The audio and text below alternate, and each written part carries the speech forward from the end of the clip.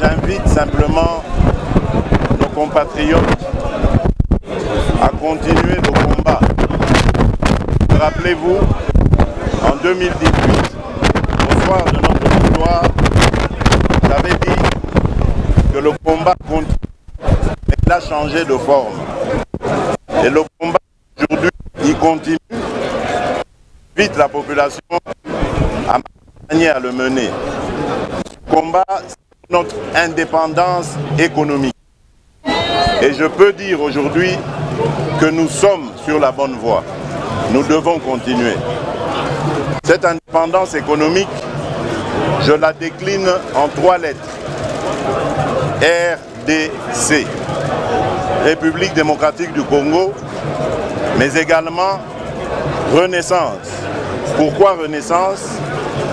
Parce qu'aujourd'hui, je reviens du Katanga, du Haut-Katanga et du Lualaba. Je peux vous dire que je suis fier de ce que nous y avions réalisé. Je vais vous donner quelques exemples. La société STL, la société de traitement du terril de Lubumbashi, qui est un de la République, aujourd'hui, il a développé, cette société a développé toute la chaîne de valeur pour la production du, germanium. Et donc, on peut dire avec fierté que les lendemains sont meilleurs car nous avons des partenaires aujourd'hui très sérieux, américains et japonais, qui vont même nous transférer de la technologie et qui vont permettre justement à ce que le germanium soit produit au Congo et peut-être même transformé jusqu'au produit fini.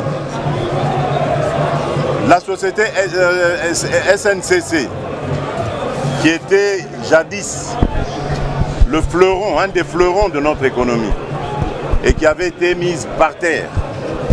Cette société est aujourd'hui ressuscitée grâce à la bravoure, au brio d'un de nos fils de l'UDPS, Fabien Moutombe, son directeur général, qui a remis sur les rails plusieurs voitures. Aujourd'hui, les Congolaises et les Congolais peuvent voyager sur les lignes SNCC comme les, voyageurs qui font les mêmes déplacements en Europe. J'ai vu ces trains, ils sont formidables. Alors qu'il y a des gens qui veulent postuler comme président de la République, qui ont dirigé cette province et qui n'ont pas été capables de faire reluire cette SNCC. Au contraire, qui l'ont même tué, rappelez-vous, ils ont créé des sociétés de transport par route, ce qui a complètement tué la SNCC. Et aujourd'hui, ils se positionnent comme étant les sauveurs de la République. J'y reviendrai. Il y a euh, ce que nous avons euh, fait, euh, que, nous avons inauguré grâce à la coopération avec le partenaire chinois, Asakania. Il y a eu un poste frontière qui a été mis sur pied avec euh, un très très grand parking et un port sec. À Kasumbalesa, nous avons démontré le bien fondé du partenariat public-privé avec la société Trafigo qui nous a aidé aussi à faire un port sec là-bas grâce à ce partenariat avec eux. Dans le Loi là-bas, ça c'était encore magnifique les enfants du Congo sont en train de travailler et de reconstruire leur pays. Avec, euh, je voudrais ici illustrer cela par l'exemple avec euh, la société Camoa, avec qui l'État a une joint venture. Et bien cette société, grâce à, mon, à ma demande, a aujourd'hui construit une école d'excellence. Et elle, a déjà, elle est en train de former 39 Congolais qui ont été sélectionnés sur des critères, mais vraiment rigoureux. Et ces jeunes gens, dans quelques années, vont être le fleuron de notre industrie minière. Ce seront des capitaines d'industrie congolais qui vont pouvoir faire des, euh, meilleurs et des, prodiges dans, dans, le domaine euh, des mines. Donc c'est pour vous dire que le Congo est en marche. Le Congo va renaître. C'est pour ça le R de la République, ça signifie la renaissance. Nous avons euh, restauré les universités et même nous en avons construit de nouvelles, chose qui n'a jamais été faite depuis notre indépendance. Nous avons, rappelez-vous ce merveilleux souvenir, celui des Jeux de la francophonie. Nous avons organisé les Jeux de la francophonie. Aujourd'hui, nous avons des infrastructures sportives de haute facture pour la jeunesse. Et donc, nous mettons un accent particulier sur la renaissance de notre pays. Certains diront même la remontada. Nous étions descendus très bas et aujourd'hui nous redonnons de la fierté aux Congolais. Le D de, démocratie, de démocratique, mais pour moi je le mettrais de développement. Développement parce que notre pays est classé comme un pays sous-développé, un peu paradoxalement parce que nous avons des atouts pour avoir un des pays les plus développés, si pas les plus puissants du monde. Mais, comme vous le savez, le développement passe par une condition sine qua non, c'est la paix.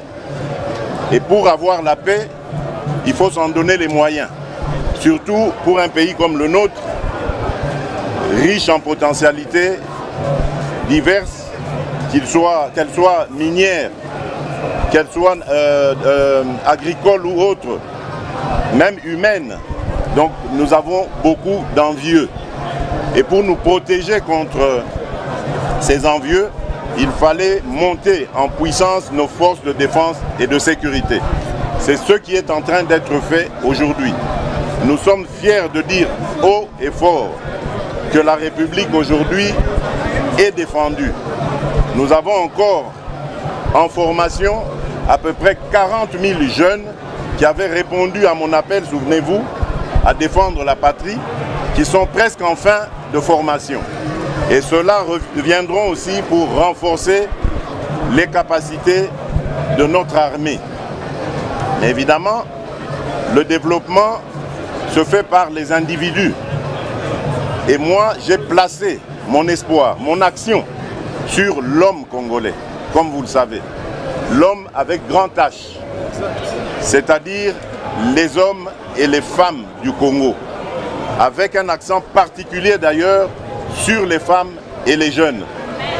Voilà pourquoi nous avons rendu l'accès à l'éducation gratuite au niveau fondamental pour tout le monde. Si les Congolais me renouvellent leur confiance, nous monterons au niveau secondaire. Parce que nous voulons d'une jeunesse qui est préparée aux enjeux de demain, les enjeux auxquels devra faire face notre pays. Nous avons promu les droits de la femme. Nous l'accompagnons dans tous les combats, au point où mes pères africains ont fini par me donner ce titre symbolique de champion de la masculinité positive. Le développement, c'est aussi la santé. Et là aussi, nous avons une politique de couverture santé universelle qui consiste à, à faire à ce que tous les Congolais, de quelque conditions sociales qu'ils soient, aient accès aux soins de santé et les meilleurs qu'il qui puisse y avoir dans notre pays. Et aujourd'hui, nous avons euh, commencé par la catégorie la plus vulnérable, c'est la catégorie mère-enfant, en rendant les accouchements gratuits. Mais pas seulement les accouchements, même les consultations prénatales et postnatales. Parce qu'au cours de ces euh, consultations, on fait aussi du planning familial pour doser les naissances et accompagner les mères. C'est donc devenu une réalité qui va s'étendre à tous les autres secteurs de la médecine.